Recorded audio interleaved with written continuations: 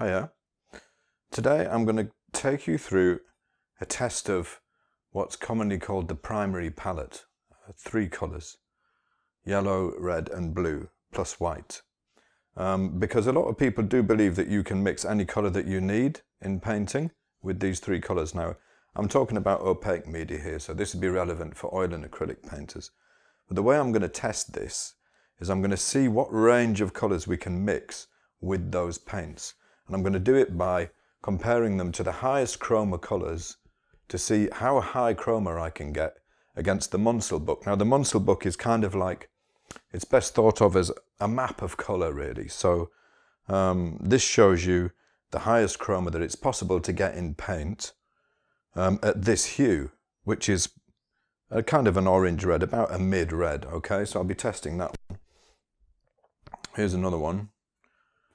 In Munsell terms, this hue is called 5YR, YR standing for yellow red. This is the highest chroma that you can get in paint um, in this hue, and it happens at about this value, about in the middle of the value range. So I'm going to see if we can get that high chroma. Now, some areas of hue are going to be pretty tricky to get to. Some will be easier than others, but we'll find out once and for all by actually mixing them on the palette. So let's see. On the palette here, I've got, let me just quickly explain, I've got titanium white here. These are all oil paints. And I've got cadmium yellow here. Um, this is a Michael Harding cadmium yellow. Um, this is Pyrrole Rubine, which is a slightly bluish red. Uh, this is from Geneva Paints. This is quinacridone rose from Michael Harding as well. And the reason I've got both of these on there is because this one is slightly more purple than this one. This is slightly higher chroma, but the red is more problematic in the primary palette. Um, if you try and do it with a cad red, you probably won't get very far, particularly on the purple side of things. And then I've got ultramarine blue as a fairly representative blue. And I'm going to see what range of colours I can mix with these. But before I do, a quick point about when people talk about palettes, um, and I was doing it just then, I was talking about cadmium yellow here, for instance. And you might read somewhere online that cadmium yellow is a good yellow to use for a primary palette, but look at this.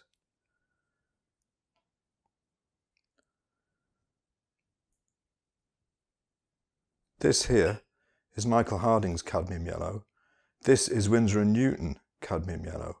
And hopefully you can see the big difference in the hues of these two colours. They're both about the same value. This one is lighter than this one.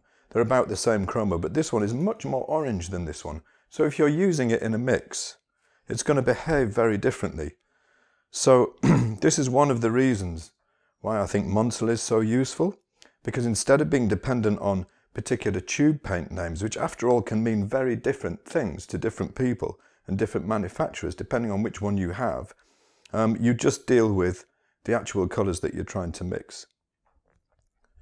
But let's get straight on with it. I'm going to start with having a go at a middle red, okay, because we've got bluish reds here.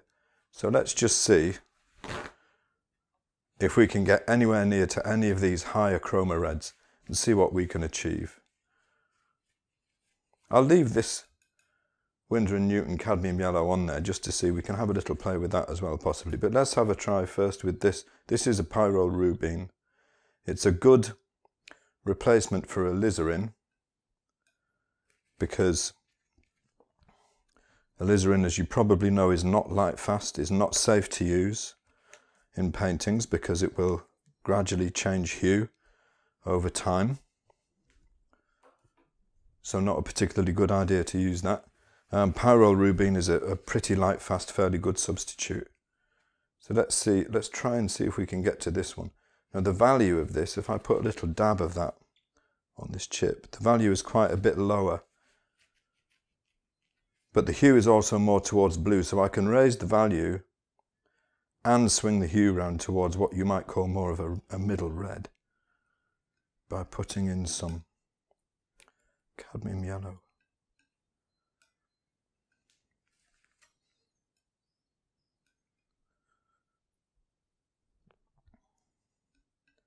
You can see hopefully this is this area of what they call the primary palette.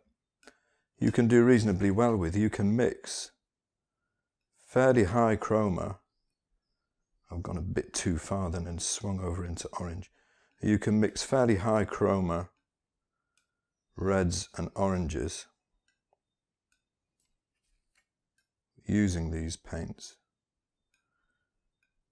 So this area of the colour space, if you like, the reds, you can do reasonably well with. Let's see what I've got there compared to this chip here. It's slightly lower value still. It's quite a lot lower chroma. It's probably closer to around this chroma. The value is somewhere between these two, so I'm probably around there or around there. The reason I'm doing this this way is it gives you a really good visual comparison of where I can actually get just by mixing these colours together. It's a little bit lighter than that one. Hopefully you can see in value terms. It's going to be lower value than this one somewhere in between the two. Now I could add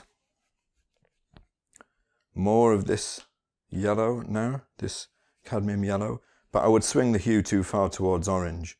So in Munsell terms, although we can get right up here, and you can get up there with some good quality paint, um, we're about here in the chroma range. So in terms of trying to get a reasonable middle red, we've got to about here. Now this is chroma 12, red can go up to 16, but it's not too bad.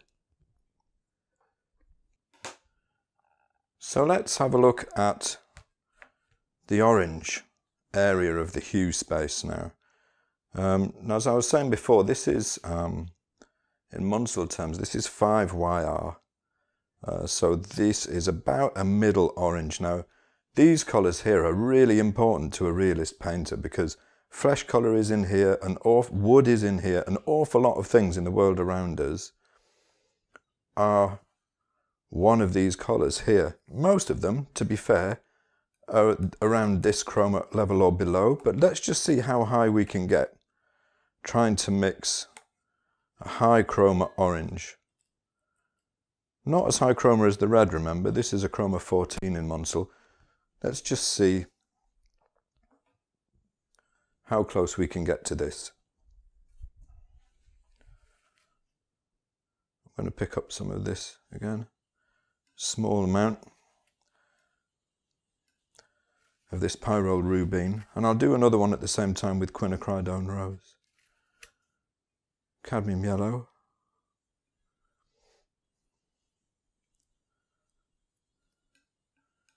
Or Red Orange. Now obviously uh, by doing it this way, I'm just picking particular points around the hue circle. I can't mix them all in the time I have and this still be useful to you, but it should be, by the time we're done, a fairly representative test of how close you can get. And this is, look, this is coming out pretty good. This is fairly high chroma. We've got a high chroma red, and we've got a high chroma yellow, which is giving us a fairly high chroma colour here. If I used the Winsor & Newton cadmium yellow, which is more orange, I would probably be able to get slightly higher still. Let's put a little on here and see where we've come. The value is a little low, and the chroma is low. We bring the value up which will swing the hue slightly, but we'll still be in the general area. And after all, this is a general test of what you can reach with these tube colours. We're about the right value range there. The hue is about the same. Let me just wipe this off and put a new dab on so it's a bit clearer.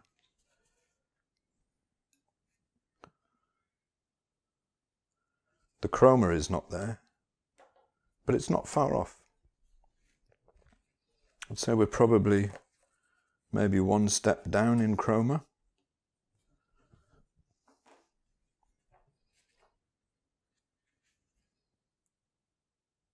Yeah, we're about there, slightly higher chroma. So for the orange, we managed to get up to here, and the highest you could reasonably expect to get is up to 14. So we're at chroma 12, and you could get chroma 14 if you had some stronger paints. I actually have a permanent orange from Michael Harding, which gets a little bit above 14.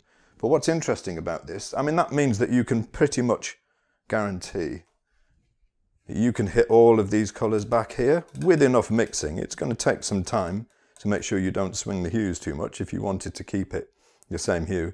But if you can hit this, then you can hit most of these at this value range. You can probably hit most of those two. You might struggle with that, but you can probably hit most of those two, the higher value range ones here. Um, I'm going to test the lower value in a minute because that will be different. But we've managed to get up to here, and that's okay. It's a pretty good performance. And for most things you would be fine. If you were painting an orange in normal indoor light, or a clementine say, which is even higher chroma, you would not be able to match the chroma of the light side of the piece of fruit. I can tell you this from experience because I painted quite a few. Um, and when an object is sitting in ordinary indoor light, the light plane will tend to be higher chroma than the local. So a clementine or an orange is going to be, the local colour is going to be in terms of chroma already at the upper reaches of what you can do. So you want to push the chroma a little bit higher, so that would mean you would have to compromise. So you've lost a couple of steps in chroma. Let me just check and see what you could get using the quinacridone rose. I'm guessing we'll probably get somewhere similar.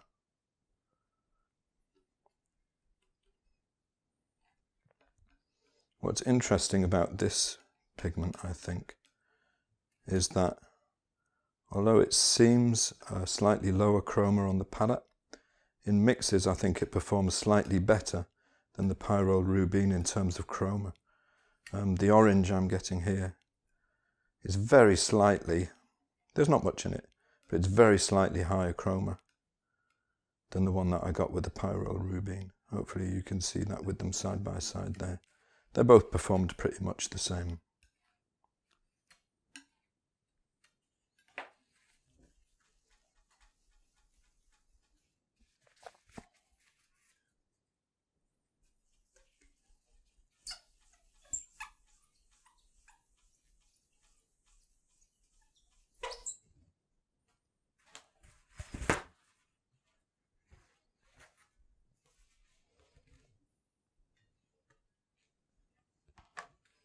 So let's have a look now and see if we can hit anything down around here. Now, a lot of the things that you find that you're going to paint will be down here. You, I mean, this is down here at value 2, slightly lower than a value 2, about this chroma is burnt umber. Um, and there's a reason uh, that you see so much burnt umber used in paintings because a lot of stuff in the natural world is down here in this value range. It's a really uh, important color to be able to hit.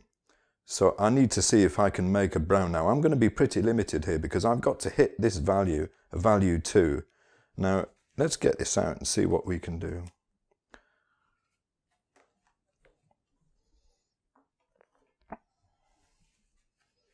Now the value of my reds is already higher than the value of this brown, right? Not by much, but they're a little bit higher value. This one is kind of, this paint has medium mixed already in it, which makes it very thin, uh, which is slightly more difficult to test with. I'm not criticizing that necessarily, it's outside the remit of this video, but it does make it more difficult to test. But these are slightly, hopefully you can see, these colors here slightly higher value than this. So I have to bring the value down. The only way I can do that is with something darker than these. And the only thing I have that is darker is ultramarine blue, okay? So I have to bring it down with that. Let's start with the quinacridone rose. And I'll match, I'll match the value first. And then we'll see what we can do about the hue. Now obviously I'm swinging this round towards purple, but there's nothing I can do about that because I have to be able to match that value.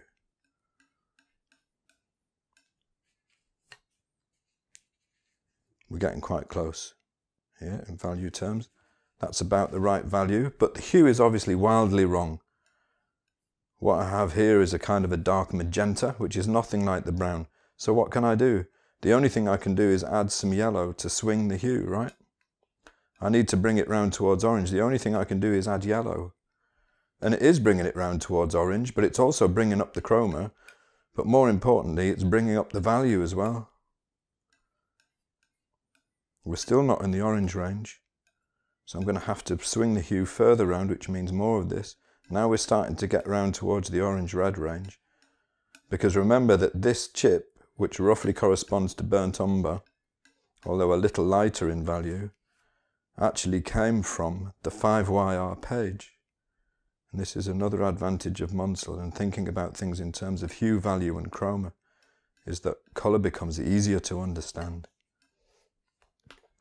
Well, the value is lighter now. The chroma is probably about the same, slightly higher. But the hue is wrong. Let's see where we are actually in hue terms. Are we anywhere near any of these colours? We know we're slightly higher in value, so maybe we're somewhere near this one, which is a value 3. In terms of hue, I think we're probably still way too far round towards red. Yeah, we are. The value is about right, but I would have to bring that, if I wanted to get the hue right, I've got to, the only thing I can do is put yellow in. I have to swing it round towards orange. The only way I can do that is to add yellow. It's still too red. I have to put more yellow in to bring it back round into the right hue range for brown. And by now, I'm way out of the value range. And I suspect I'm still too red. I'm probably coming up around value 4 now. See, I've gone all the way up here. I wanted to be down here.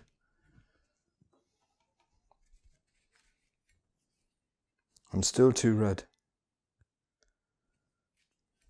I need more yellow. Now this is illustrating for you. If you try to use a palette like this, with such a restricted choice of tube paints, you have to accept that there are a bunch of colours that you cannot get. I'm slightly higher value than that even now. I'm starting to get into the right hue range. I suspect I'm probably around here. Still too red. Still too red.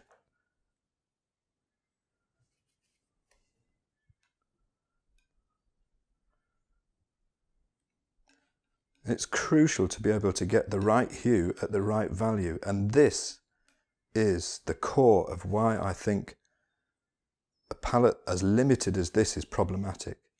Because there are colours. If you want to paint realistically, if you want to get as close as you can to the colours that you see,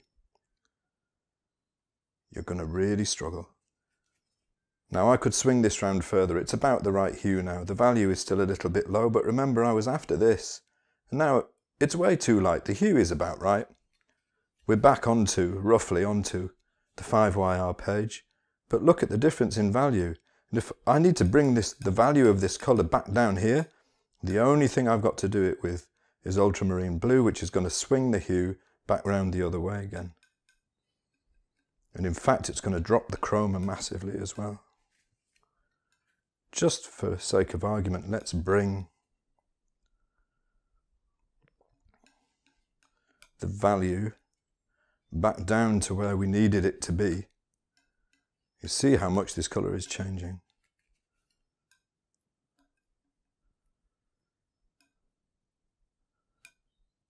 We're going to end up, by the time we get back down there to the value, we're going to end up with an orange green because now we mostly have blue and yellow in here and we're not there yet. So hopefully that's demonstrated fairly clearly with this choice of tube pigments, these three colours plus white, you cannot get anywhere near this area of orange in the colour space.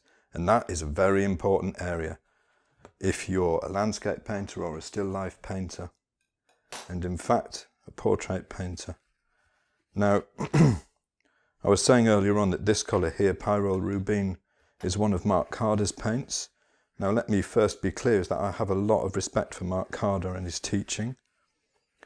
Um, and he uses, in what he calls his, I think he calls it his basic palette, he adds burnt umber to this. And now you've seen why, because you cannot get down there with just those three colours. This one you can't do. Okay, so the next area I want to look at is green. I'm gradually moving around the hue wheel, looking at the areas that I know are going to be problematic. Um, now, some of you, you may have come across uh, Michael Wilcox's book, Blue and Yellow Don't Make Green. Well, let's see how we can do.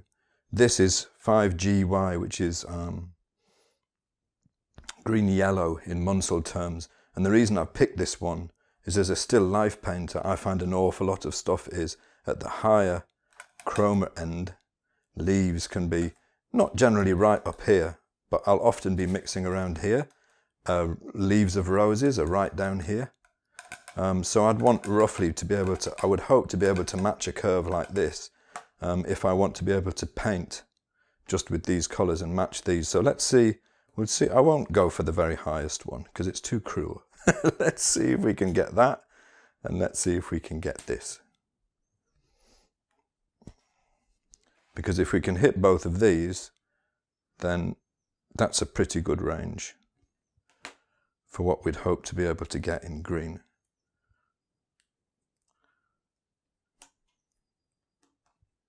I'm just going to stick these down this time round to make this a bit easier for me to put the dabs of colour on. So obviously we've got a limited palette, our choices are limited. We're going to go with ultramarine and cadmium yellow. I'm going to have to put some more cadmium yellow out. This is getting quite expensive. But these kind of tests, I think you should really, uh, you should really do if you can, even if you don't have the Munsell book. If you're going to think about using a limited palette and you don't want to hold yourself up, I mean, if you use the really limited colours and you find you can't hit the colours you want, it can hold you up for a very long time. Potentially years, frankly. So let's go, first let's see what we, where we are in, in value terms. I would say value is just dark to light. This is slightly lower value than here. This is probably about a value 1.5, something like that, slightly lower than this. So we've got a little bit of leeway there. So we can bring in a little bit of yellow, swing the hue round towards green. That's still a very blue green. I'm going to need more to bring it round to the right hue. Still a very blue green but already we've reached this value. We're higher than that value already, but we're, we've got a blue-green. I need a more yellow-green. Not that much in nature is blue-green. An awful lot is yellow-green.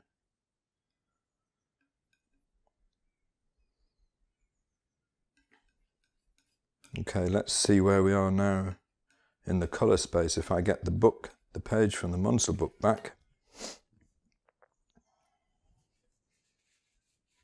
I think we're still potentially not all the way around here. It's still a little bit blue. In value terms, I think we're probably, value and chroma terms, we're probably about here. Maybe slightly higher, higher chroma. We're probably about here at the moment.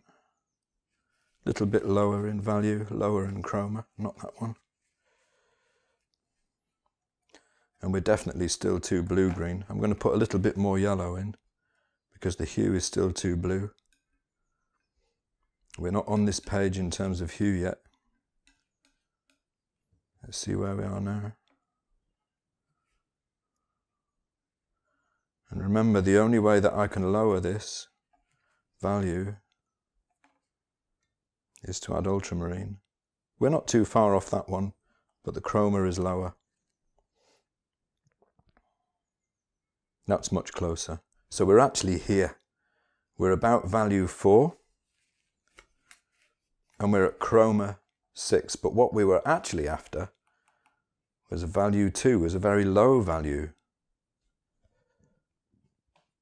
And we couldn't get there because by the time we got to the right hue area, the value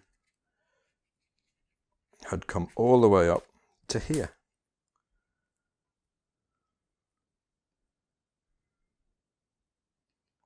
So we can't get a low value green, a low value yellow green. You cannot do it with these paints. If you go low value, what you will end up with is a blue green. Okay, so let's see now if we can get anywhere near to this slightly higher chroma mid-value green. Uh, we'll use the same paints because our only choice here is ultramarine blue and cadmium yellow. I'm going to want more yellow this time because I need to be a fairly high value range. Now this obviously, although the value is probably about right, the hue is much too far around the hue wheel towards yellow. This is too yellow a green.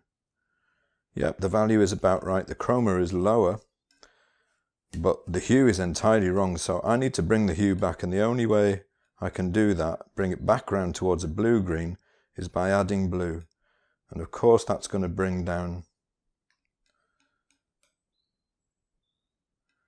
the value as well, but it can't be helped. Um, I can't get there with just blue and yellow. Too much yellow brings the value up, right? The chroma is still nowhere near, really, but the hue is entirely wrong. This is all about being able to reach a reasonable chroma at the right value, at the right hue, to see the range that we can get. Now this, I think, is probably a little bit too yellow still, but we brought it back round further. It's going to be darker now, a lot darker, and it's also much lower chroma. Let's have a quick look at the page again for this mid-yellow green and see what we might be close to. Well, it looks like we're around here, possibly around here at the moment, which is obviously a lower value than we were trying to get to. We were trying to get here, and it's also lower in chroma. So let's dab a little on here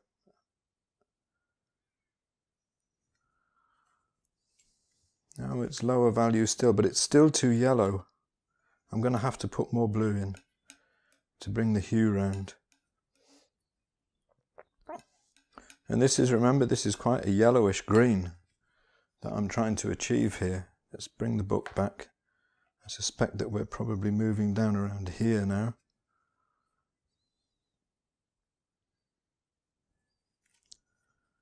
Yeah. The hue is probably about in the right area.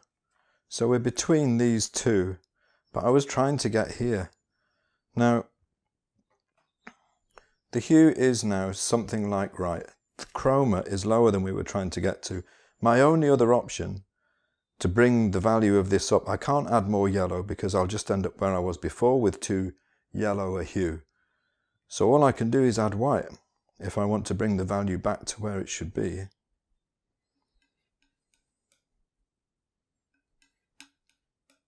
If I want to lighten the value of something, it, I, the only way I can do it is with a lighter colour, a lighter tube paint. And I've only got yellow or white. Where am I in value? Still darker than what I was aiming for. And remember, I didn't even choose the highest chroma green. I chose a step down, knowing that this would be difficult. Uh, the value is about right now. But let's wipe this off so you can clearly see what's happened here.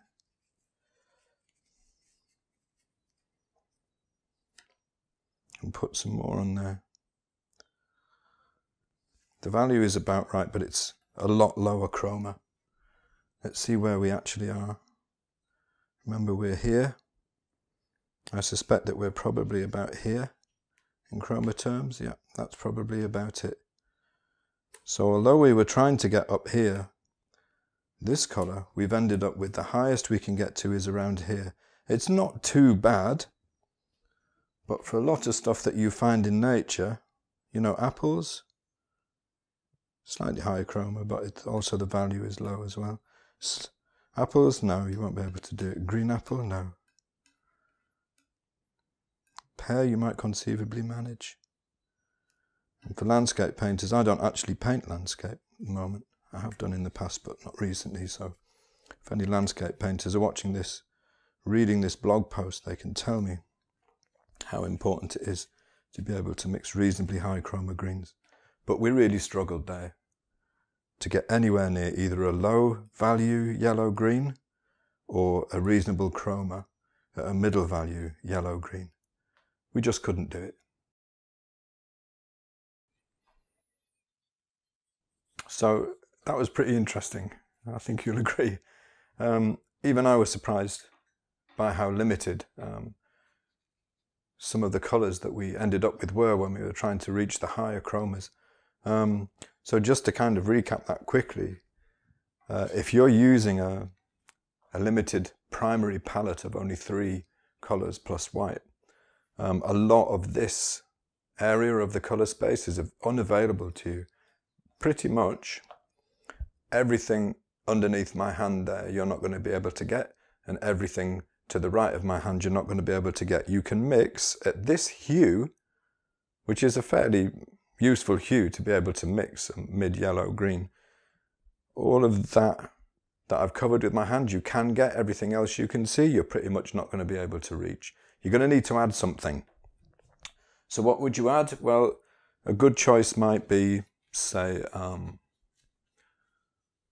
a phthalo green um, because you could, it's high chroma at very low value, especially if you had something like a Winsor & Newton yellow shade Winsor green, um, because with the addition of some yellow, that would bring it round to um, more yellow, but it would also raise the value.